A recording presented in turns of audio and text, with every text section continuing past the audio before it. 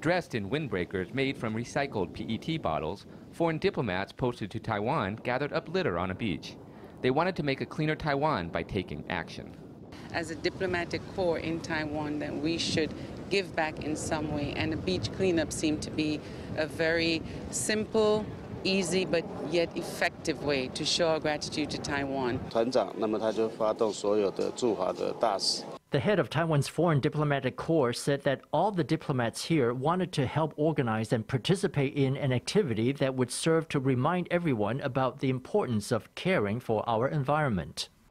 Since last May, the executive Yuan has been promoting its respect for our oceans policy as a way to increase awareness and protect marine ecosystems. As of the end of September, a total of 123,000 metric tons of garbage had already been collected from across Taiwan. In a first on Saturday, the Taiwan EPA cooperated with Taiwan's Foreign Diplomatic Corps to organize and jointly carry out a beach cleanup at Taoyuan's Guanyin Coastal Recreation Area.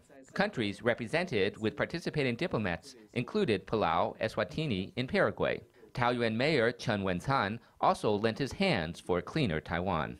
也希望我们的大使们、代表们跟家人，啊，可以有一个 I hope that the ambassadors, representatives, and their family members have all shared in this extraordinary feeling. We have only one ocean, so let's work together to protect it.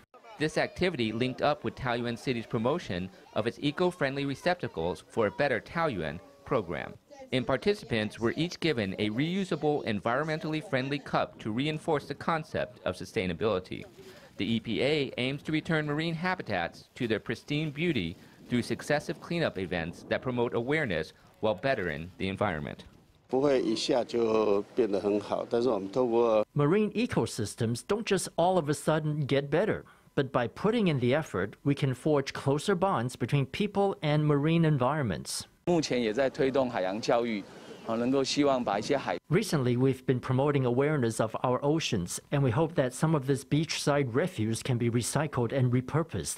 Not only can some fabrics or handicrafts be made from this cleanup, but so too can a closer connection to our oceans be made for everyone. More and more people have been volunteering in cleanups in recent years. Last year alone, more than 150,000 people took part in such activities. Adding to the enthusiastic efforts of the public has been the EPA's continuous investments in resources to give back to Earth a cleaner ocean.